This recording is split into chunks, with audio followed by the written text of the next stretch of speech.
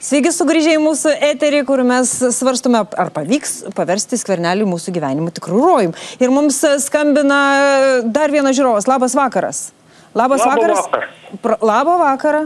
Iš kur skambinat, kas esat, ką norit pasakyti? Noriu pasakyti, kad e, lažinatės, aš, aš iš, išimt galiu lažintais. Niek nepadarys tas skvernelis. Niek nepadarys. Labai baisia bus. Nu, n- noriu dabar Gentvilau čia. A он galės pašnekėti. Biš senų tokių. Apie prezident Paks. Šalčia, o durniai buvom, prisijėmėm tų Paks ten, buvo, buvo mūsų klaida, bet, bet ką prisijėmėt, kad mums nerasės už naftą ir idėjų žmonių tų pasitikėjim.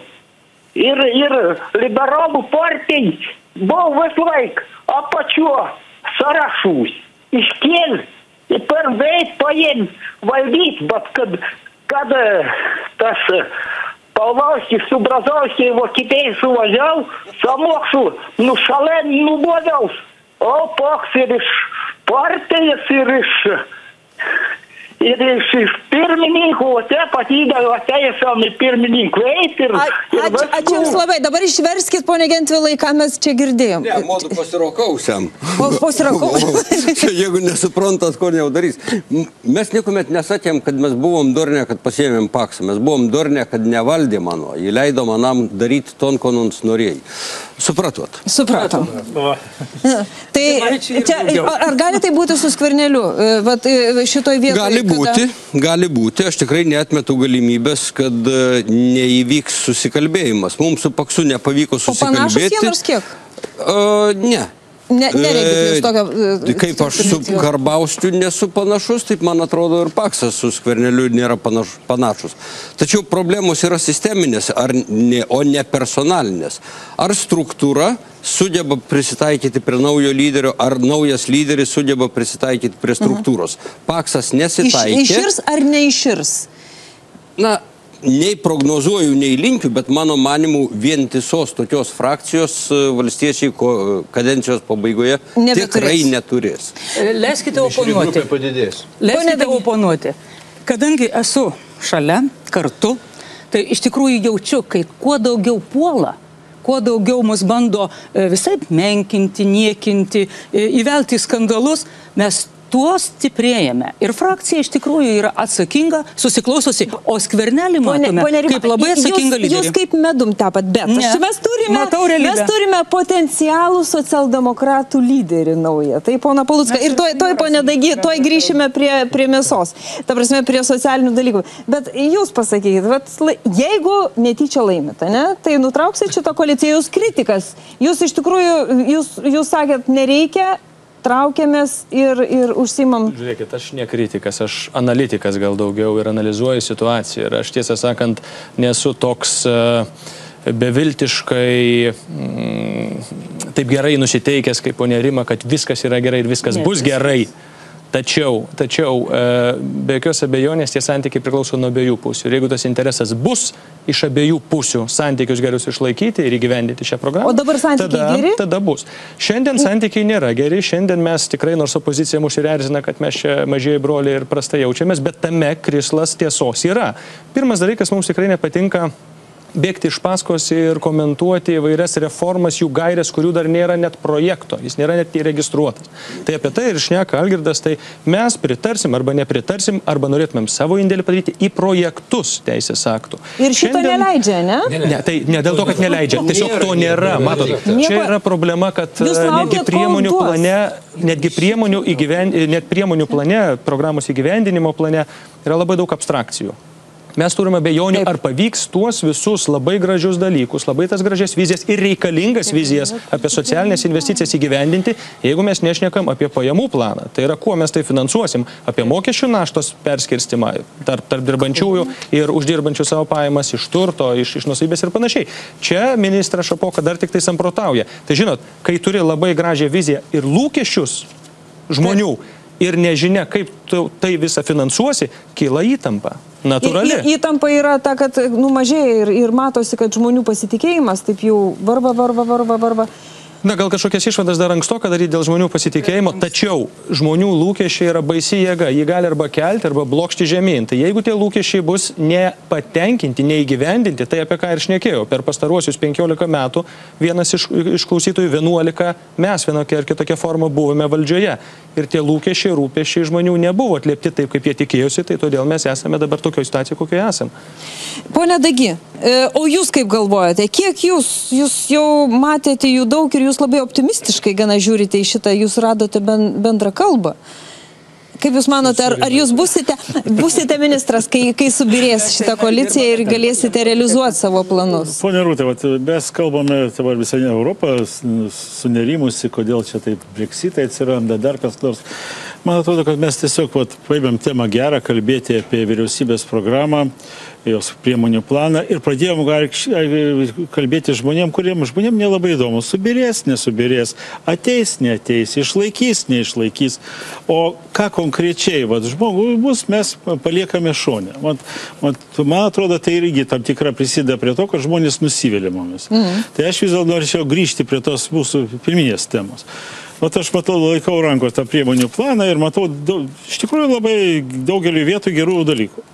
Bet e, nemyla klausimas, kaip tam o, palyginime, sako, kodėl kai karalius savo e, klausė savo generolo, kodėl pilis neužimta, sako, pas mane yra 31 priežastis, o pirma kokia, nu, nėra parako. Nu, tai sakė, 30 gali nevaldyti. Taip. Aš kalbu apie ką?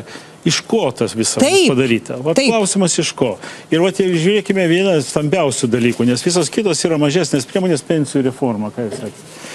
Nu, jinai praktiškai kas, kas joje dabar įdėta. Mokestinė dalis, kai nesutvarkyta, perskirstimas nesutvarkytas, mes iš turtingesnės dalies tikrai neproporcingai gaunam mažai pajamų ir todėl mūsų tas auga visą laiką ta atskirtis, bet, reiškia, jos šaltinių nėra ir ką, ir ką tada galima įsipareigoti, tik išlaikyti tą patį santykį pensinį, pensijų su vidutinė alga, kas nors reformoje buvo numatyta pakelti jas. Todėl, kad nėra atsakymo, iš ko tą padaryti. O tai iš kur? Tai va, bazinės Naujus pensijos mokesčius. perkelimas ant mokesčių. Taip, iš tikrųjų, jeigu mes turim sumažinti socialinio draudimo mokesčius, mes turim, turim pakeisti kitus. Kokiais keisti? Nėra palikta 19 metam apsispręsti. 19 metai jau rinkimam, nieko mes neapsispręsim.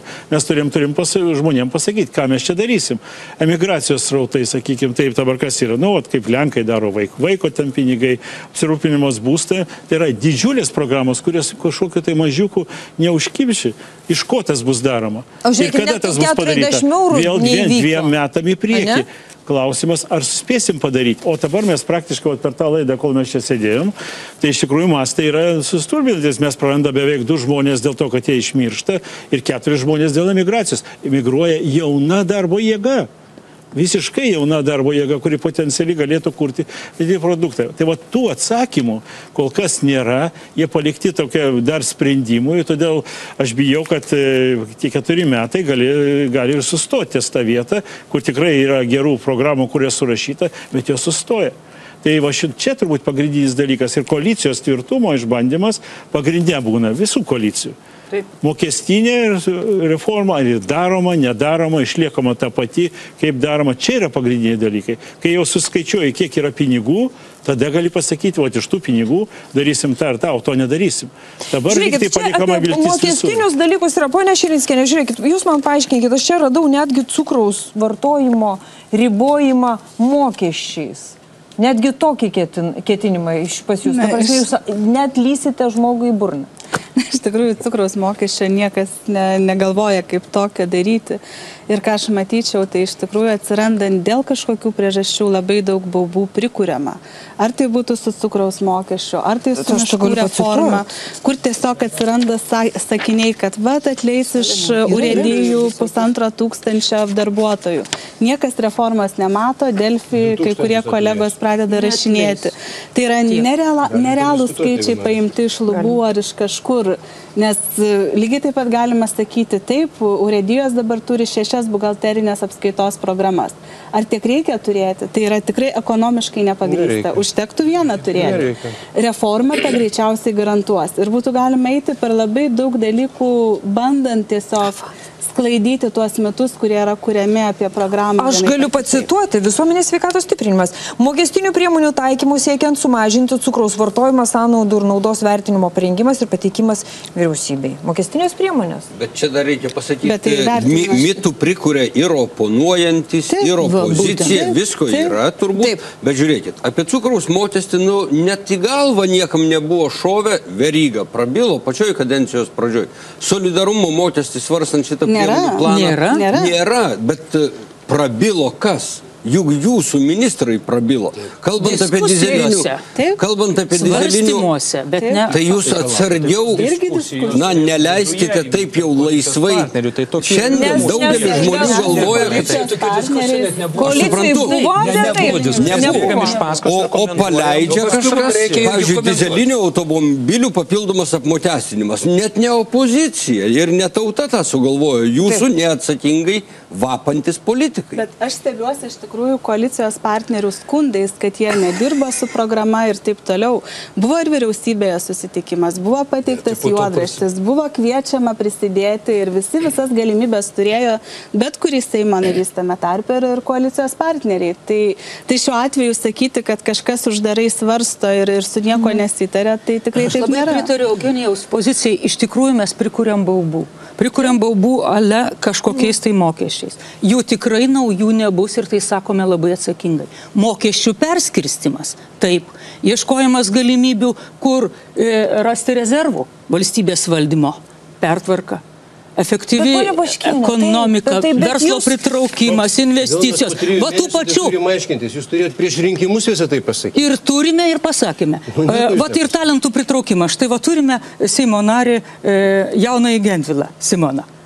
Talentų pritraukimas į Lietuvą. taip Špilkuojat? Ne, opoziciją? aš džiaugiuosi. Aš žinau, jūs Kad jaunas žmogus- programos, mes ją anksčiau paskelbėm, jūs vėliau. Kad jaunas žmogus Tai sugrįžo į Lietuvą. Ir mes norime. 40 eurų pensininkams. Palaukite, skaičiuokime tą 40 Bent eurų. jau indeksacija. E, 20 jau buvo užmokėta. Indeksavimas, e, vie- vienas dalykas, kompensacijos, kurios buvo išmokėtos. Antra, bazinė pensija padidėjo 8 eurais ir kintamoji dalis. Tai jau padidėjo suma 20 eurų. Tai jutot? Bet pensijos gražintos ne nuo Liepos 1, o nuo sausio 1. Tai reiškia, per tuos metus dalis, tik žmogus dalis. gavo tikrai 40 eurų daugiau, Negavo. nes tai nuo sausio 1. Ir kitais metais planuojama tai iš esmės daryti. Taip iš tikrųjų, rezervai iš kur? Turim visi kartu galvoti. Ir čia šiuo atveju tikrai žinau, kad mūsų kolegos, koalicijos partneriai taip pat kartu suka galvas ir dėl pertvarkos. Ir vat e, Agirdas kaip tik minėjo, ir dėl tų pačių urėdijų pertvarkos, kad jo buvo paruoštas projektas kažkada ir nepriimtas. Dabar svarbiausia - negazdinti žmonių. O Nu, tai paaiškinti visuomeniai. dyzelinių- dyzelinių automobilių Tai, žinot, burbulai, kurie atsiranda iš nežinia kieno ir nežinia dėl Iš jūsų ko. ministrų. E, Aš manau, diskusijos visą laiką buvo ir bus. Svarstymai visada buvo ir jie reikalingi. Bet mes privalom kuo daugiau ir kuo plačiau informuoti visuomenę, kas numatoma daryti. Taip. Ne etatų mažinimas ir galvų kapojimas, o perskirstimas ir kiekvieno žmogaus panaudojimas e, žmogui, suteikiant galimybę jam tobulėti, e, persikvalifikuoti, jį pritaikyti, o tie, kurie galbūt pensinio amžiaus, užleisti jaunai kartai, išmokant e, jiems išeitinės kompensacijas. galvų kapojimas, ne, nebus nėra jokio galvų kapojimas. Bet kad efektingai valstybės valdymas vyktų, kad iš tikrųjų mes tam tikras e, struktūrinius pokyčius padarytumėm, mes turim racionaliai galvoti. Ir ne veltui. O nerima, tai jūs galit pasakyti, ką jūs darysite, kas yra ta liesa vyriausybė, kurią jūs čia žadat? Liesa vyriausybė dar kartu. e, Liekna vyriausybė. Liekna vyriausybė, tai dar ir sveika vyriausybė, apie kurią e, kalbėjo ir Aurelijus Veryga. Sveika Lietuva, sveikėjanti, mažiau išleidžiama arba, arba alkoholio. yra, bum, dizelino, di- dizeliniai Ne- automobiliai. Nėra arba- dizelinių Mes liberalai sakome, liekna vyriausybė, tai turėtumėme Ką omenyje reikia mažai besikišantį gyvenimą. taip, Tai tokia Šilėnai, ką reikia daryti? Iš tikrųjų užkabinta esminė problema. Ką reikia daryti, kad žmonės, ne tik tai mes čia sėdintis, tingintis emigruoti, ne? Bet ir tie, kurie emigravo, norėtų grįžti Lietuvon. Mhm. Ne, ką reikia daryti? Tai stebuklų nėra. Ir tikėtis, kad gali ateiti, bet, gali ateiti miršta, bet kokia nyksta. vyriausybė ir staiga emigrantų srautas nesustos. Tai vienintelis dalykas, ką galima padaryti, tai padaryti, kad žmonės galėtų Lietuvoje dirbti ir uždirbti daugiau. Čia yra pagrindinis, vienintelis dalykas, kuris veikia. A, tai jūs tą Tai jūs esate tą matote įsirašę-? Jeigu, jeigu bus padaryta, jeigu bus pritrauktos iš tikrųjų investicijos, sumažinta biurokratinė našta, fabriką Lietuvoje galų gale galės greitai pastatyti, o nesiginčiant su dešimt agentūrų, galima čia kažką ar negalima statyti. Tai yra programa. E, Tai gali nutikti, bet vėlgi tai irgi nebus stebuklas. Tikėtis, bet, sakyčiau, kiekvienas, kuris žada, kad aš ateisiu į valdžią ir panaikinsiu emigraciją ir ją apsuksiu, na, tai, yra, tai yra šarlatanas. O apie dizelinius automobilius ir cukrų, aš sutinku, kad daug kas gazina vieni iš vienų paskatų, kitų iš kitų, bet nereikia įrašyti apie cukrų, esate įsirašę vidaus dėgymo automobilių populiarumo mažinimas irgi yra ga, Nėra kuris Nu, Galim neturėjo eiti po būti- laidos, pasižiūrėti, kas pas jūs įrašyta pačioj programos gale apie vidaus dėgymo varikliais varomų automobilių mažinimą. Aš skaitau labai vyriausybės planus ir programos priemonės planus, nes uh, turiu, turiu laiko. užsiimu. mokestinis dalykas, jūs puikiai žinote, ateina į Seimą ir jis priimamas arba nepriimamas. Gali būti prirašyta N projektų e, planų, vyriausybės programos detalių, juodraštinių, apie kurias jūs kalbate. Mes čia Bet turime finansų biudžeto to komiteto pirmininką jau su savimi. Bet yra vienas toksai dalykas, kur jums iš tikrųjų tiesiai į kaktą pataikė valstiečiams. Tai yra lengvatos. Jums, valstiečiams, jūsgi mokesčių nemokat. Aš kalbu bendrai paėmus. Na, mokesčius a, valstiečiai ūkininkai moka, aš nesu vienas iš Ypač jų, nesu, mažus. Nesu ūkininkas, a, taip, lengvatas. Bet jūsų lyderis lengvatas, turi- lengvatas reikia peržiūrėti ir to dabar užsieimo finansų ministerija. Lengvatos turi būti, kai kurios jos turi a, pasiekti savo tikslą, tas bus įvertinta ir kai Reikia liūdnai, žiūrėkit, PVM lengvatą šildymui tautai jūs nuimat. Verslui, stambiam, žemvaldžių, ir, jūs va šitą dar, nu pasvarstysim, nu pažiūrėsim, nu kaip. Čia pinigai, PVM lengvata šildymo jau dešimtmetį tęsiasi ir kompensavimo mechanizmas bus išplėstas ir tiems, kuriems reikia padengti tas išlaidas šildymui neproporcingai didelės lyginant su, su jų pajamoms, tai jie gaus kompensacijos ir gaus daugiau negu gaudavo iki šiol. O tie, kurie gali susimokėti, o tie, kurie gali susimokėti už šildymą, jie ir turi susimokėti. Tai lengvatos Pone turi būti iš karto replikuokit. Žinokit, aš tikrai replikuosiu apie tai, esu šnekėjęs ne karto. Nu, Tokia visuomenė, kurioje 250 tūkstančių žmonių pagaminami, kad vaikščiotų ištiesę ranką, yra tikrai bloga visuomenė. Nereikia daryti nesavarankiškų žmonių ir vyti juos į socialinės paramos centrus. Vietoje to turi būti tokios sąlygos, kad žmonės galėtų įpirkti tas esminės paslaugos, kaip šildymą ir panašiai. Mes akcentuojame ir tai, kad štai tą lengvatą gauna ir tie, kurie uždirba daugiau ar turi daugiau. Bet tai yra tam tikras solidarumo principas. Matot, visi moka mokesčius, visi gauna. Jeigu visi lengvatą gauna, tvarkoj. Netgi programoje yra priemonių planai įrašyti tokie dalykai kaip universalūs vaikų pinigai, kur visi gaus tėvai. Taip, kad čia nėra kažkokia anomalija, čia, nėra, čia yra skandinaviška socialdemokratija, suprantat. Ir aš tikrai, tikrai nenoriu matyti tokios Lietuvos, kur 250 tūkstančių paramos gavėjų eina į socialinės paramos centrus. Aš to tikrai nesuprantu. Tiek nebus, tiek nebus, tie žmonės turės teisę kreiptis, nebūtinai jie kreipsis, o kadangi padidinsim ir pensijas, ar ne, išspręsim tas sodros problemas begalinės. Žinot, kas pirmiausia Ir- ir tikrai išlaikysim tas pajamas. Žiopnesnieji nesikreipia. 19 Tie, kurie sunkiausiai. Jūs jau galėjote padaryti, padarysim kitais metais Tai kartu. Kartu su jumis padarysim, nes su socialdemokratais gali sunkiai sektis, tai su jumis padarysim. Jūs jau taip iš karto nurašot mus. Jau kita koalicija gimsta, žiūrėkit. Mes pratęsime šitą diskusiją. Ačiū, ponė Jekiliu. Va dabar mes jau pagaliau pag, pagavome už odegos visą šitą reikalą. Nepaleisim jo iki pat, kol grįšime su žiūrovais nepilnas.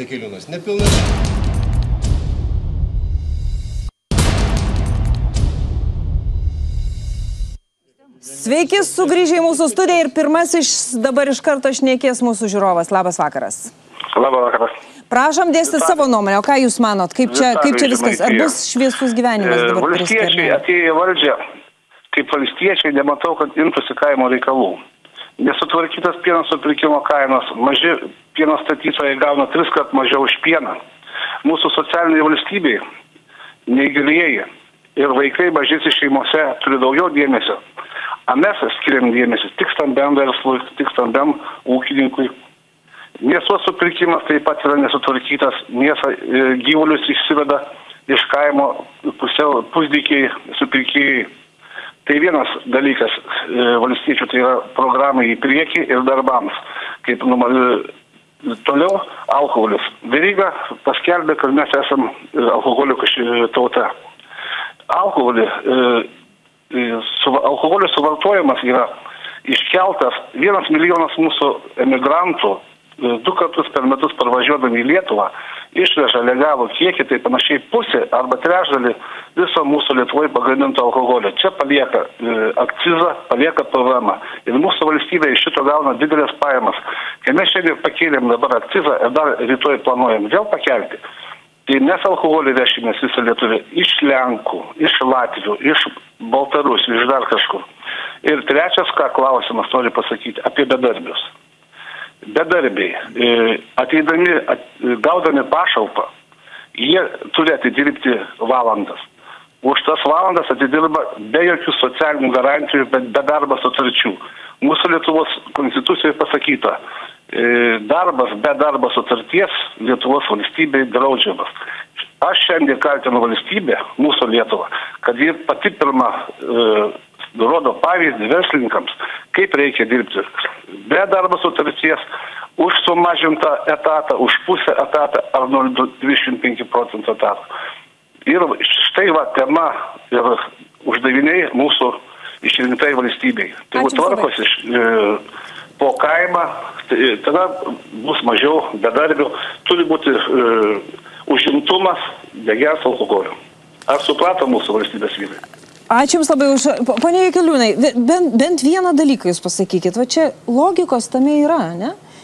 Sienos atviros, išvažiuos pirkti alkoholį į Lenkiją. Iki šiol gaudavom čia pajamas į, į biudžetą, o dėl švento reikalo dabar prarasim pajamas. O norim duoti pensininkams, norim duoti vargšams, norim duoti visiems. Iš kur? Voktaisim? Na, žiūrėsim, tie siūlymai, kurie buvo radikaliai keturis metus iš eilės kelti akcizus, dabar jie yra šiek tiek pristabdyti ir žiūrėsim, kaip šiemet atrodys tie biudžeto reikalai, alkoholio vartojimo dalykai ir po to priimsim sprendimus. Taip kad pamatuoti sprendimai yra jau padaryti ir suprantamai vertinsim ir ekonominės aplinkybės ir tą, ką jūs sakot ir ką, Taip. ką mūsų e, žiūrovai supranta. Taip, į Lenkiją, jeigu visi važiuos arba į Latviją, suprantama, nuo to e, ge- geriau čia nebus, ar ne, ir vartojimas nesumažės. Todėl subalansuoti turi sprendimai būti ir aš manau, tas, kas padaryta dabar, šiemet priimti sprendimai, jie yra pakankamai subalansuoti. Dėl kitų klausimų, tai čia galima daug diskutuoti, ar mes čia rinkos ekonomikos sąlygos, sąlygomis gyvenam, ar ten pieno supirkimo, mėsos supirkimo kainos kažkas tai gali reguliuoti. Taip, valstybė gali kažkokią įtaką daryti, bet ribota. Ribota, supraskim, kad mes turim, turim tą konkurencingą ekonomiką ir maži nekonkurencingi ūkiai. Jums kaip tik sako, kad, kad susi, susijungia e, supirkėjai, didmenininkai, mažmenininkai, iš tikrųjų diktuoja sąlygas ir tas, kuris realiai dirba žemę, kuris jūs rinko, Todėl jisai mes- iš jūsų nesulaukia, Todėl na, bent jau atramos už bendruomenės, už kooperacinį jų, jų, idėjų jų- jų- jungimąsi, už kooperatyvų, kooperatyvų stiprėjimą, kad atsvara būtų tiems, kurie superka pieną arba kurie parduoda tos galutinius produktus, kad atsvara būtų kitoj pusėje tie, kurie gamina pieną. Jų daug yra smulkių. Tai jie turi jungtis, jie turi bendradarbiauti ir tada tas sąlygas suvienodinti, kad jų galimybės būtų dėrėtis ir gauti geresnės kainas. Pone, pa- pone Butkevičiu, vėlgi aš norėčiau jūsų paklausti, na, bet tai, ką sako panas Jekiliu, jums yra nauja, jūs, čia yra jūsų bendra nuomonė, jūs taip sutarę darot. Kiek tvirt, kiek, kiek tai, ar, ar jūs vis dėlto e, nesulaukė to mandagaus pakvietimo tai aš gal- dalyvauti, Gal kuriant aš dar pasikartosiu, politiką? aišku, ir manau, Rima teisingai supras. Vyriausybės programa, kuri buvo rengiama, tikrai mes prie jos labai stipriai prisidėjom.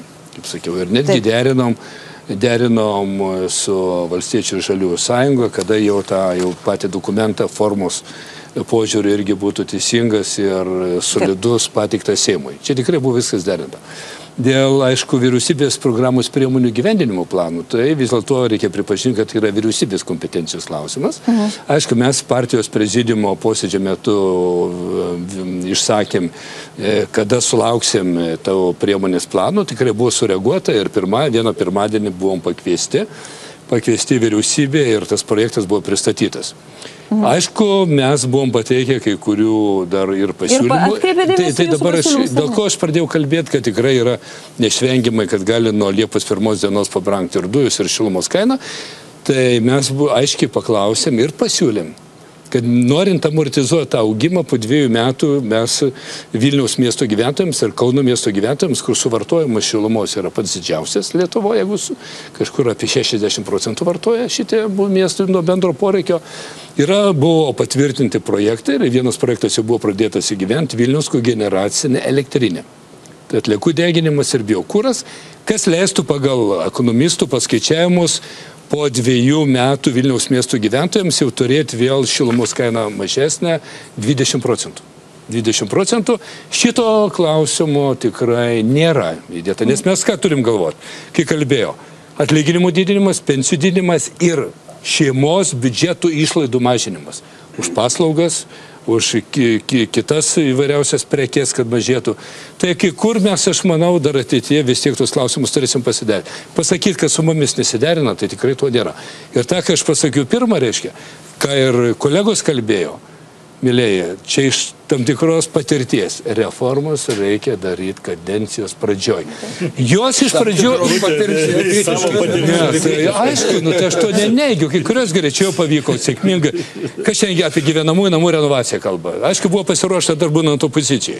Ir sėkmingas, ir galėčiau daugiau projektų kalbėti, bet tai yra praeitis. Tai, tai, tai yra praeitis. Ne, kodėl aš tą noriu pasakyti? Vis, kiek žmonių priima naujovės? Procentaliai 16 kažkur. Pas, čia pasaulio rodikliai. Bet po dviejų, trijų metų, kai pamato teigiamą rezultatą, ai nesakoma, tai ir ne vienas neprisipažįsta, kad aš prieš dviejus, trijus metus šaukiau, rėkiau. Bijo. Dėl to, kad pamatė, kad jos buvo reikalingos. Valdžia kam yra? Valdžia yra, kad darytų, darytų pokyčius, permanas ne žodžiais, bet darbais, mėlyje. Ir, ir čia jaučiame būtent daug žodžių, Taip. Bet darbų keturi mėnesiai dar Tai mes šimtą dienų, sakėm, turim. Ir skandalų daug. Žiūrėkit, bet ponia Butkevičiaus, tas, arba ponia Paluskai, jūs paaiškinkit, bet, bet panašu, kad jūs esat nelabai pageidaujami pagal tai, kaip teisės suganų iš tikrųjų daro viską, kad jūs turėtumėt ką veikti ir be programų, ir be, ir be visko. Dabar jau dar su vienu jūsų kolega problemos tokios apyrimtės, apkalta E, prieš tai dar buvo ir visą laiką tokie jūs užbombarduoti tokie leisgyviai politiškai. Tai jeigu galiu pasakyti, kada 2015 metų pabaigoje pamatė, kad vis tiek socialdemokratų reitingai nekrinta, jo? tris metai, niekada Lietuvos istorijoje to nebuvo, buvo atlikti tyrimai ir nu, pagal visų partijų vadovus surašyta ir, ir paklausta, reiškia, kodėl, pavyzdžiui, socialdemokratų, kokią įtaką partijų lyderiai turi partijų reitingams. Ir ten aiškiai buvo, aš tą medžiagą tikriausiai ir kitų partijų lyderiai turi parašyta, kad socialdemokratų partijos reitingai 62 procentai priklauso nuo Butkevičiaus. Nu, tai kas buvo paruošta aiškiai strategija, tam tikri burbulai ir prasidėjo, kada atakos pagrindinės prieš socialdemokratų partiją 2016 metų sausio pabaigoje, kai išvažiavo atostogauti. Ir jos po šiai dieną dar tęsiasi. Mm. Ir jūs manote, kad va, taip, Pone Palutskai. Aš, aš gal nebūčiau linkęs į kažkokias samokslo vis tik tai teorijas, kad mus teisės saugos institucijos ar panašiai medžioja. Nu, tai aš, aš, aš dėl to ir sakau, kad į, į tokius samokslo teorijų samprotavimus mes tikrai nesileidžiam. Atvirkščiai, jeigu padarėm klaidų, mes nesiginsim. O jūs, ponė, tai? Jeigu. Tai, Kam tai, jeigu? Tai, ponė Gentilai, tai kadangi mes šnekam apie socialdemokratus... Ar įmanoma tai... padaryti reformas ir, ir įvesti, vat, padaryti tuos gerus darbus, kurie surašyti tom starom pluoštė popieriui, turint, na, ta, tarkim, ant kojos tokį svorį velkant? Nu, turbūt kiek, kiekviena, partija, kiekviena partija turi įvairiausią problemą, jas turi spręsti ir sakyta, čia nu, niekas nuo to nėra per daug apsaugotas, bet vat, vėl grįžtant prie mūsų tos taip, pačios programos taip. ir vat, dabar, kai klausausi, nu, mane neapleidžia toks jausmas, gal dviejopas jausmas. Iš vienos pusės, kaip Seimo nariui, ganėtinai pozityvus, kad aš suprantu, viską turėsim spręsti Seime, nes tokio sutarimo, kaip ten padaryti, aš nematau. Įvairiais baziniais klausimais, pradedant mokesčių, baigiant vaiko teisų ir viso kitais klausimais. Viskas virs Seime, turėsim tą daryti. Aš jau patiriu kaip socialinio reikalų komiteto e, vienas iš, e, kurie prie vaikų teisų ir kitų da- darbų tikrai labai daug pastabų ir daug visokių dalykų derinimui. Lygiai taip pat vat, socialinės apskirties mažinimas nu- numatytas, kaip tas bus padaryta, neaišku, vėl turbūt gausime dokumentų, turėsim daryti. Čia dar tą prasme gerai, bet iš kitos pusės, nu, iš vyriausybės visuomet norisi aiškaus matymo, bet iš visos vyriausybės, ką jie nori tikrai padaryti. Nes dabar praktiškai, vat, nu, kaip opozicija, o kam oponuoti, vieni sako vieną, kiti sako antrą. Tai su kai čia, kokie čia būdai koalicijos partneriai, tai kur ta vyriausybės pozicija, su kuria tu galėtume normaliai argumentuotai skaičiais ir kitais dalykais e, diskutuoti. Va šito tai aš pasigėdau, pasigėdau, va, ir dabar dabar aiškinomės tarp dėtos dalykus visiškai, kur norėtųsi girdėti. Tai, tai jūs norite pasakyti, kad skandalai yra realūs, o planai yra migloti. Ne, žiūrėk? Matot, skandalai skandalais, o darbai yra darbais. Aš taip turėjau pasakyti. Mes galim palikti šiek tiek nušaly, bet šnekant vis tik tai teisybės dėlį apie priemonių planą, tai būtent skurdo ir socialinės atskirties dalis yra aiškiausios ir geriausiai aprašytos vis tik tai. Rodikliai, Klausimas- bet iš ko jūs tą padarysite, tai finansavimo. socialinės, e, socialinės diferenciacijos sumos čia sumažinimas. Bet, priemonės, priemonės yra tinkamos. gerai. priemonėm? Jeigu padėsit va, socialdemokratai ir, ir Vat konservatoriai, jeigu padėsit. sutvarkysim pensijų sistemą galų gale, ar ne? Tai aš labai džiaugiuosi, kad, labai džiaugiuosi, kad senjorai šiandien pagalų gale išdryso išeiti ir pareikalauti savo teisų, nes iš jų vagiami pinigai, iš sodros dabar imami pinigai, dedami į e, pensijų fondus ar ne. Tvarkoji, tie fondai reikalingi, bet ne iš sodros dabartinių pensininkų pinigų. vagiami pinigai? Ir taip kalba finansų biudžeto komiteto Taip, pirmininkas. taip, Valstybė taip. numatė tokį modelį. Prastas Jis yra modelis. realizuojamas. Tų- tų žmonių ir tamsta kaltini milijoną du šimtus tūkstančių Lietuvos žmonių, kad jie vagia pinigus. Pone Gentvilai, irgi- leista naudoti dabartinių, dabartinių pensininkų pinigais finansuojami jūsų ir kitų įnašai į pensijų fondas. Dabartinių Ir pensininkų mano pinigais. pinigais kaip dirbančio žmogaus. Ne, dabartinių pensininkų pinigais, kurie turi gauti pinigais. išmokas, ar ne? Ir į valstybės biudžetą mokamos tai palūkanos. jūs norite Tai tos papirkti dalykus reikia dabar- sutvarkyti. Ne, tos dalykus reikia pirmiausiai sutvarkyti. Palaukit, tos dalykus reikia sutvarkyti. Sodra turi dirbti tvariai, pagristai, ne, neimant tų pinigų iš tų žmonių, kurie dabar užsidirbo jau tos pinigus, ar ne? Ta reikia sutvarkyti. Žmonės, sodra pinigus paėmė iš žmonių, kurie dirba. Iš visų mūsų, kas dirba pagal darbo Yra sutartis, ir moka mokesčius. Ir moka tiems Tikrai. žmonėms, kurie nebegali dabar dirbti, ar ne, kurie negali, negali emigruoti, neturi alternatyvų, tai negalima jų sąskaitą finansuoti būsimųjų, būsimųjų pensininkų Bet santaupų. Mes ne? labai Sutikim su savo, savokose maišomės. Visų pirma, buvo labai gerai Eugenijus Jūs nesimaišot, jūs liberalai labai nuseklus, kuo mažesni mokesčiai, tuo daugiau in- iniciatyvos, ar ne? Viskas tvarkoja, Aš aš jūs dirbu, suprantu, aš bet taip valstybė mokesčius. neveikia. Aš Jeigu valstybė veiktų nemoku. pagal jūsų modelį, valstybės nebebūtų. Jeigu tokios kaip Lietuva. pagal jūsų modelį, biudžete būtų nulis pinigų, nes niekas nesutneštų. valstybė. Su- Sutarkim tai, kad še- 600 migravo, mi- tūkstančių emigravusių jaunų žmonių, šeimų, darbingo amžiaus žmonių, tai rodo, kad mūsų modelis veikia prastai. Ir, nu, žiūrėkim, ką moka- reikia moka padaryti. ekonominis Taip. ir socialinis modelis veikia Aš, tikrai aš tai prastai. traktuoju, Tai taip, gerai, tai- šiandieniniai pensininkai, kurie patys nedalyvauja pensinio kaupimo fonduose, dabar nori atimti pinigus iš savo galbūt asmeninių Vaikų. vaikų ir anūkų, kurie dalyvauja tose ir sako, mes gautumėme didesnę pensiją, jeigu Tai atimsite iš vieno vaiko ir anūkų. jokio solidarumo. Labas vakaras, sakau dar vienam žiūrovui, nes mes jau įklimpome į, į, į, į, į diskusiją dėl, dėl, dėl, dėl detalių. Taip, klausau jūsų. Labas vakaras. Labas vakaras. Gerbiama Rūta, Taip, girdimės jūs. labas vakaras, brangi Lietuva, išniekita, pažemėta, apskeltas, privartauta. Dabar tamsta Rūta davėte labai gerą klausimą, ar skvernelis įveiks korupciją. Sakau, tūkstančių procentų jis neįveiks, kadangi korupcija yra įsiplėtusi teismuose, teisės saugoje, daugiabučiuose bendrijose, savivaldybėse, inovacijoje ir pačiame Seime. Aš, pavyzdžiui, kreipiausi praeitais metais, lapkričio 21 dieną, su pareiškimu labai aiškiais klausimais. Taip pat kreipiausi šiais metais vasario 20 dieną. Dabar žiūri, čia viena ponė Rima žiūri šypsosi. Deja, atsakymai yra negauti. Mūsų Seimas pasleidžia įstatymus ir pats nedrįsta duoti laikė numatyto laiko iškių atsakymų. O jeigu ir gauni, tai atsakymai be atsakymų trafaretiniai. Kreipiuosi tamsta Rima, tamstas Lina, Li- Linai, duokite atsakymus, atkreipkite dėmesį į žmonių ašaras, į žmonių pastabas, į žmonių prakeiksmą. Aš labai bijau. Nelinkiu, bet po keturių metų ši valdžia bus įspjauta į Seimo dar smarkiau, kaip kad buvo įspjauti lasbergistai ir komunistai. Dirbkite žmonių labui. Baigite apie tas kiltikšienės, apie tą, reiškia, ramūną, puldinėti nereikia. Dirbkite žmonių labui. Atkreipkite Ačiū Jums dėmesį, labai. ką Ačiū Jums labai. Tai aš, ponia Jekeliūnai, ir noriu paklausyti. Tai va, žmonės supranta paprastai, ką jūs padarysite jų labui. Va, tai, Žiūrėkit, ten- ką jau padarėm geriau, Taip. ar ne? Pažadai yra vienas dalykas, kad dažnai tušti pažadai, Taip. bet ką jau padarėm? Gruodžio mėnesį pagreitinom kompensacijų išmokėjimą buvusiam pensininkam, ar ne vietoj pusantrų metų, dabar jau kovo Buvusiam mėnesį. pensininkam. Taip, kurie, kur, kuriems buvo atimtos pensijos, Ai. ar ne, ir tiems, kuriems kompensacijos buvo Dirbusiems, dirbusiems ištestos. ar ne? pensininkams, nebuvusiems, dirbantiems. Nu, tvar, bu, buvusiems, dirbu, dirbusiems pensininkams, taip, atsiprašau. Toliau, reiškia, gyvybės draudimo lengvata mokestinė. Visiškai socialiai neteisinga. Tarptautinis valiutos fondas yra pabrėžęs, kad yra vėlgi ėmimas iš vienų ir davimas kitiems, kurie turtingi yra, ar ne? Priimtas sprendimas jau, ar ne? Šiemet, dėja, du premjerai buvę nubalsavo prieš e, Nordėja banko skolinimą Šveicarijos frankais. Aštuntais metais paskolinta Šveicarijos frankais teikiant klaidinančią informaciją, suviliojant žmonės ir ne viena valstybės institucija neužtarė tų žmonių.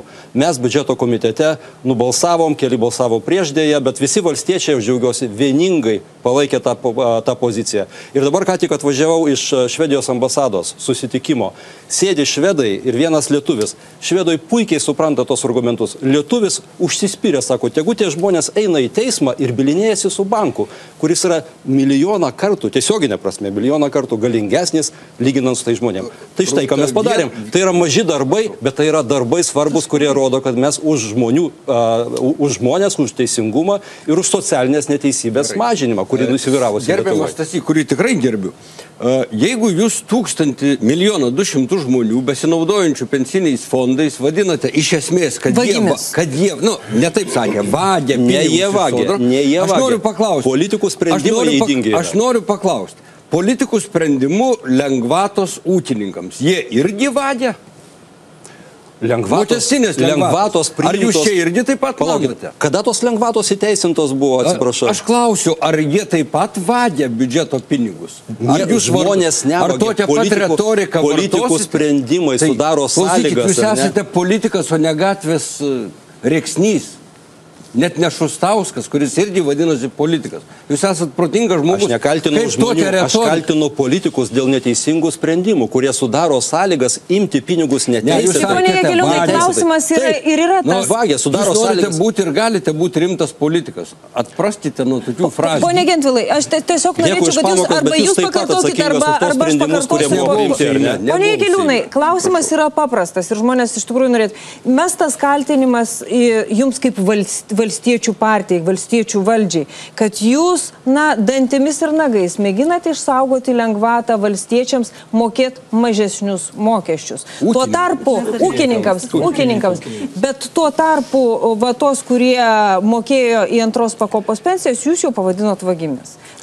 Nu, Aš jų vagimis nepavadinau. Nu, Dar jokio sprendimo dėl ūkininkų mokestinio lengvatų nebuvo. Nebuvo. Mes jas svarstysim, jeigu tokie siūlymai bus jau visumoje, yra, visų lengvatų kontekste, ar ne, kurias reikia siūlysim naikinti. Aš, ne, aš esu objektivus žmogus ir jeigu tos lengvatos ne, netlieka savo paskirties, suprantama, jos nereikalingos. Bet tam reikia įvertinti tą situaciją. Mes tą pradedam daryti, finansų ministerija tą daro ir kai vertinsim situaciją, teiksim sprendimus ir priimsim juos bendrai Seime. Bet vienu atveju situacija jau vertinta, mes- o čia tokio Žiūrėkit, masto lengvata ir, ir palaukit, tai yra vat ne. Kokio masto lengvata, gerbiamą rūtą? Nu, vat, nes viską suplakam į visą krūvą.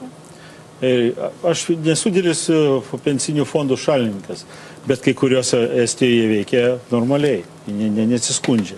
Lenkai yra jo atsisakę. Čia yra svarstytini dalykai, Lenkai kuriuos reikia įvertinti. Čilėse neatsisakė. Vengrai atsisakė. Tvarkoj, tvarkoj, bet yra, kurie veikia ir pavyzdžių netoli, ir patys tą pensijas, visi normaliai. Čia reikia žiūrėti sistemiškai tos dalykus, kuriuos galima, kuriuos ne. Dabar kalbam apie ūkininkus, o tokiais vajais visą laiką priešokiais. Taip. Mes savo laiku įvedėm tas 5 pro- procentų jiem ap- apmokestinimą. Problema ne čia, problema yra tai, kad niekas ne- nesusitarė, nuo ko tos pe- mokestinę bazę skaičiuoti ūkininkams. Nes jeigu jiems skaičiuojamas ir žemė, ir visa kita kreditai, kurie yra, tai, tai jeigu paimsi tos mokesčius 15 procentų, tai jie tiesiog į minusą jo O suvarys. šiaip verslininkas įma kreditą jau jam. jau- Ne, taip, palauk, bet, Jis bet ateis jam yra gamybos priemonė. Jis gamybos priemonę turi reikia pažiūrėti. Todėl reikia, fabriką, todėl tai reikia gamybos viską normaliai pasverti daryti. Mes priešokės iškart blogai, iškart gerai. Tai va to, to vertinimo, ekspertizės, aš pasigendu, tada mes galėtume normaliai išnekėtis. Nes dabar va, tokia, va, tokiais priešokės. Viena banga į vieną pusę, kita į kitą pusę. Nu, bet tai čia, e, skaičiavimai, ka- kam galima taikyti. Kad nesusidarytų įspūdis, aš nesu prieš pensinį kaupimą kaip tokį, aš esu už antrąją pakopą, paprasčiausiai finansavimo šaltinis turi būti kitas, dalyvauti ten milijonui dviem šimtam žmonių, tūkstančių žmonių nėra ko, nes kai kurie per daug, mažai, per mažas pajamas gauna, kai kurie per, per amžius per vėlyvas, tai tą dalyką reikia sutvarkyti galų gale. Ir jį sutvarkyti. rekomendavom, kad E, ir Mes, mes, mes dar vieną kartą ir turim jūs visi skirti su žiūrovais. Ir aš noriu atkreipti jūsų? jūsų dėmesį, kad nepaisant viso pesimizmo ir chaotiškos, iš tikrųjų sunkiai, su, na, paprastam žmogui bent jau su, suprantamo to visų, visų pasiūlymų, kuriuos čia vyriausybė ketina, ar jūsų visų ketinimų, visumos tokios. e, Už skvernelio e, lietuviai pasirengė ištraukti tos 10 eurų ir jų yra daugiau e, kol kas. Pasižiūrėsime, kiek jų liks po trumputės pertraukos. Tada švies.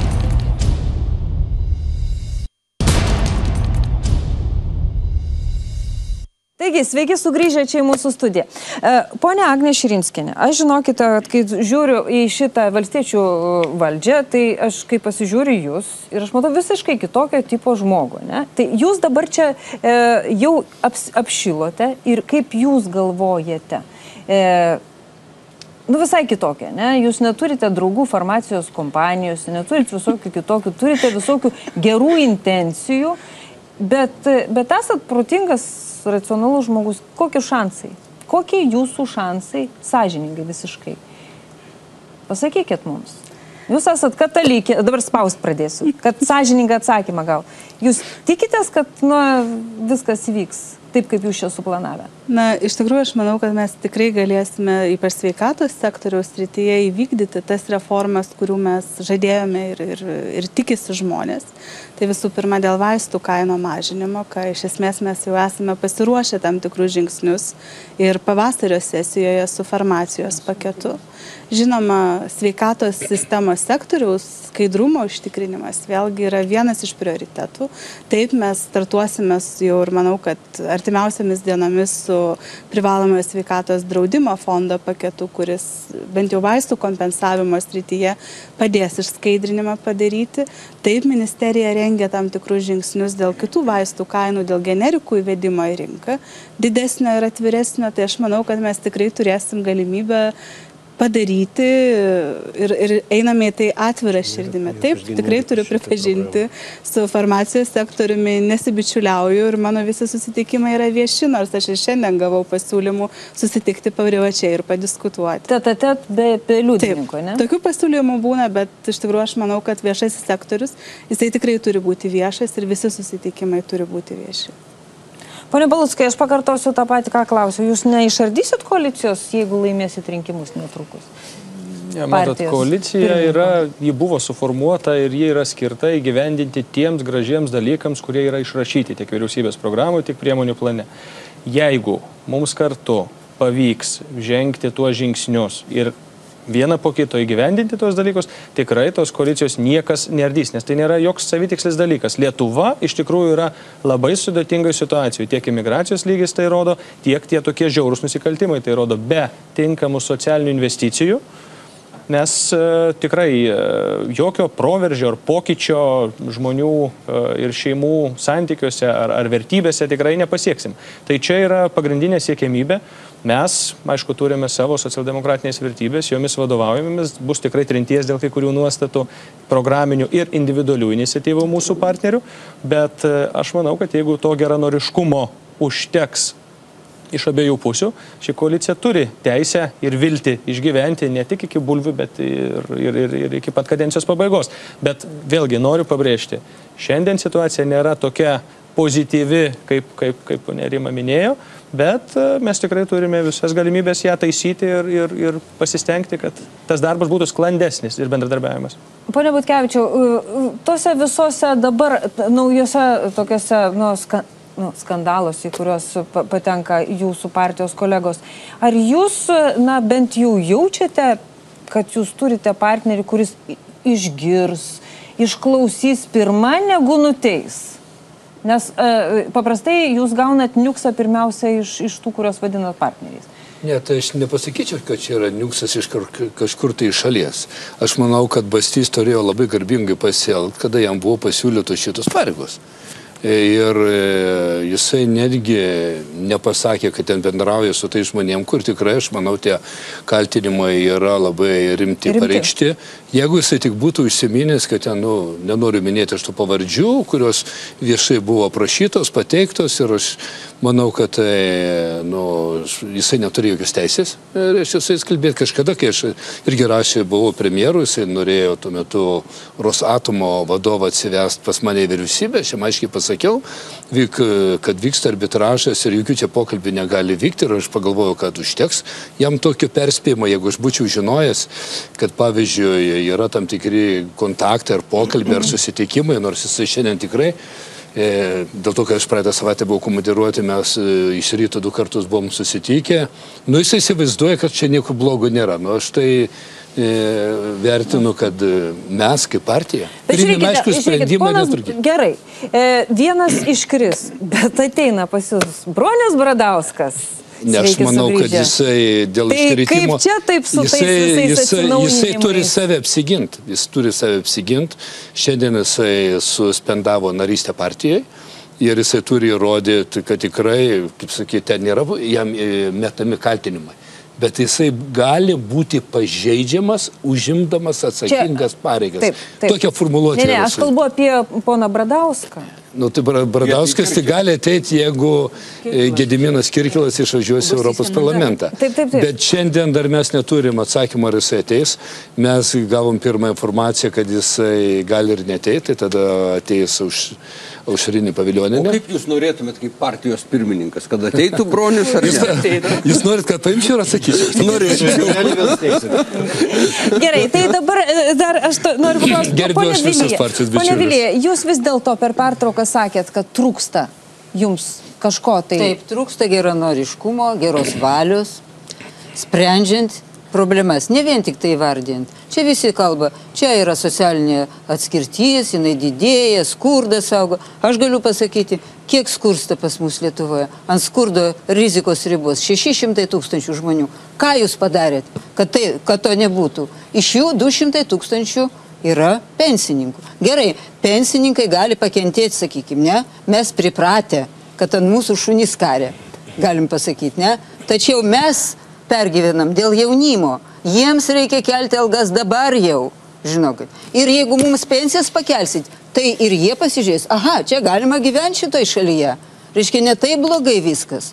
Čia yra taip viskas susiję. Finansiniai, ekonominiai ir moraliniai klausimai. Vienas nuo kito neatskiriami.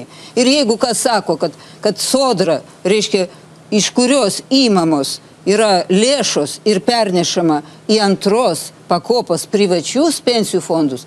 Aš, pavyzdžiui, kalbėjau su užsieniečiais, jiems tai yra nesuvokiama, nes tokios sistemos niekur nėra užsienyje. Niekur, kad iš sodros, kad iš žmonių būtų įmami pinigai ir dedami kažkam privačiai į kišenę. Taip, mes Prašom, šitą, temą mes baigėm. E, Pone Šilėnai, į jūs kiek statytumėt, kiek už skvernelio pergalę arba pralaimėjimą? Va- Kiek čia statymai O, 10 sta, eurų? sta, statymai žmonėms, kad jie neišsigant, šimtą pastatytumėt, dešimt kartų daugiau. Taip? E, Pasakysiu dėl ko. Mm, Viena vertus, manau, atstovauja tą racionalesnę dalį rinkėjų. Tai yra vienas. Antras, e, aš į visas valdžias žiūriu skeptiškai. Nesvarbu, kairė, dešinė ar kokia kita spalva, aš jas visą žiūriu skeptikai, nes, skeptiškai, nes manau, kad ne valdžia iš tikrųjų kuria Lietuvoje gerą gyvenimo žmonės. Tai ir, viena, ir toks stabilumas, ir tam tikrų darbų įgyvendinimas Tai reikalingas. į valdžią atvedė protingi žmonės, racionalūs. A, Nesimsiu to nagrinėti, nes nesu politologas, bet aš pasakysiu, kad dirbantiems žmonėms, kurie iš tikrųjų visiems dirbantiems žmonėms ar kuriantiems žmonėms mažiausiai labai rūpi, kas ten yra valdžioje. Taip, mes mėgstai pasišnekėti, paburnuoti, bet jie užsiemė savais darbais. Tai jeigu valdžia darys gerus darbus, taip daugumai žmonių iš tikrųjų nėra jokio skirtumo, kokios spalvos bus, kad jie darytų gerus darbus. O manau, aiškus dalykai, ko dirbantis ar kuriantis žmogus Lietuvoje nori, tai kad jis a, žinotų, kad jis gali dirbti, kad gali užsidirbti, kad gali susitaupyti, kad gali kažką nusipirkti ir tą pačią minutę, vat, jūs kalbėjote apie geranoriškumo trūkumą, aš sakyčiau, kad mokesčių mokėtojų trūksta pagarbos. Mokesčių mokėtojas, na, dabar, man atrodo, Facebook'e gavo žinutę, ačiū, kad susimokėjote mokesčius. Bet to tokio jausmo, kad vat, už tų sum- mes, vat, mokesčių mokėtojai, 40 procentų nuo atlyginimo, daugiau netgi, kiekvieną mėnesį atiduodam ir už tai negaunam nei ačiū, nei pagarbos, o dar po to kažkas pas, pasako, kad mes per daug, per daug sutaupėm. Tai vat, šalia genoriš- geranoriškumo pridėkim pagarbą mokesčių mokėtojui ir tuo vadovaukime kiekvieną dieną ir, manau, pusę problemų išspręsim. Panie Keliūnai, kaip atrodys jūsų nuomonė, vat jūs dirbat, dirbat ketverius metus ir kaip vat, išeidami kokią Lietuvą paliksit? Kai įgyvendinsit šitą priemonių planą. Šita pavasario sesija bus atsakymas. Jeigu mes susidirbsim koaliciją su vyriausybė ir visas Seimas apskritai su vyriausybė, tai yra daug galimybių, kad po keturių metų mes atrodysim visi kaip politikai ir kaip Lietuva kitaip. Nes aš sutinku su ponu Šilienu, kad dėkingumas mokesčių mokėtojams taip pat svarbu. Kad mokesčių mokėtojai pasitikėtų tais, kurie išleidžia tos pinigus, skirsto, kad jie efektyviai būtų naudojami, kad nebūtų piknaudžiavimo, korupcijos apsaugų, šviet, sveikatos apsaugos sistemo, kad švietimas būtų kokybiškas. Ir per keturis metus, aš tikiuosi, mes galėsim padaryti. Bet šitas pavasaris, jeigu mes jį išgyvensim sėkmingai, tai tikrai bus. klausimas išgyvenimo? Todėl, kad diskusijos vyksta ir aš diskutuoju taip pat ir socialinės apsaugos ministerija, ir su finansų ministerija, su finansų ministru taip pat diskutuojam. Po tų diskusijų gimsta sprendimai. Ir tie sprendimai, jeigu jie bus subalansuoti, palankus valstybės ateičiai ilgalaikiai, tai aš manau, po keturių metų mes tikrai kitaip jausimės čia. Pone Dagi, Nu, aš manau, kol kas, e, koks jūsų statymas? kol kas žmonių lūkesčiai susijusi su nauja valdžia yra pakankamai aukšti. E, Jie tikisi, kad bus daug, daug, daug kas padaryta, nes ir gražių kalbų daug pasakyta ir visa kita. Ir žmonės sudėjo viltis, galų gale atėjo nau, nau, nauja jėga. Tai yra na, natūralu ir aš manau, artimiausių laikų kokių nors ten didelių pakeitimų aš ten nesulaukčiau. Bet iš, iš kitos pusės, e, bet e, yra labai pavojingoje zonoje. Iš pradžio tie sakė, kad visi mes dabar, tiek nevyriausybė, mes dabar galvosim, ką daryti. Nu, galvoju, galvoju, dabar jau planas yra, bet kaip jį realizuoti, kol kas dar neaišku. Viskas ten ne, yra. pinigų, kaip čia, kaip sakiau, kol kas nematyti tam planui. Kaip, kaip neskaičiuok, ne, jų neužtenka, čia ką jūs, jūs parašėt. Tai viskas priklausys nuo jos, nuo jos realizacijos. Ir jeigu nebus susikalbėjimo koalicijoje, ir tada prasidės tarpusavio aiškinimas, kas labiau kaltesnis. Ir tada vat, bus didžiausias koalicijos išbandymas. Bus Tada bus išbandymas. Linai- Čia šiuo atveju bus mėginama amortizuoti daug kas Seime, galbūt tas ir pavyks, bet tada neaišku, koks vyriausybės vaidmuo. Linai, Žinot, šita koalicija, ne jokia nepaslaptis, jau šios dienos diskusija parodė, yra susikūrusi ne iš ideologinio bendrumo arba, arba kažkokio programinio vientisumo arba meilės vieni kitiems. Šita koalicija yra sukalta iš noro socialdemokratų, kurie patyrė triuškinantį pralaimėjimą, nu nors kiek nors išlikti valdžioje, nors šiek tiek vieną, vieną kojytį įkelti į jau. Tai aš manau, galvoju. jeigu ateis į socdemų valdžią nauja jaunoji karta socialdemokratų, jeigu ponas Palutskas būtų e, taptų lyderiu ir ketintų pasitraukti, būtų sveikintinas reiškinys. Nes tuomet mes išgrinintume tą rinkėjų pasitikėjimą, kurį gavo valstiečiai. Jūs gavot milžinišką pasitikėjimą, žmonės laukia permainų ir jums reikia leisti dirbti. Vieną Dabar nu, nuomonės visų taip skiriasi, taip skiriasi, kad koalicija, koalicija tikrai subirės, skvernelio vyriausybė galbūt įsilaikys, o iš to plano bus įgyvendinti tik tai tie patys patys svarbiausi dalykai, dėl kurių sutarsim absoliučiai visi. Li- Linai, vieną tik sakinį pasakau, arba du sakinius. Po rinkimų mes iš karto pasakėme, einame į opoziciją. Pamatėm, kad valstiečiai ir žaliųjų sąjunga su konservatoriais nesutarė. Tik tada mes sakėm, kad išlaikyti politinį stabilumą mes einam į koaliciją, kai nebūtų pirmalaikių rinkimų, nes buvo pasakyta, kad gali būti pirmalaikių Dabar jau daug uh, visokios netiesos, bet atsakingi sprendimai iš tikrųjų bus. Ir viltis neturi būti, na, paskutinėje vietoje. Aš esu optimistė, telksimės, vienysimės ir neapgaudinėsim žmonių. Ačiū Jums labai Sakysim visiems, kad pamatuotai. čia buvote. Ačiū. Uh, prieš atsisveikindama, aš labai kviečiu Jūs rytoj įsijungti televizorius, kai mes uh, rodysim patriotus ir rodysim aušą maldeikienę. Ji Jūs ketina labai nustebinti.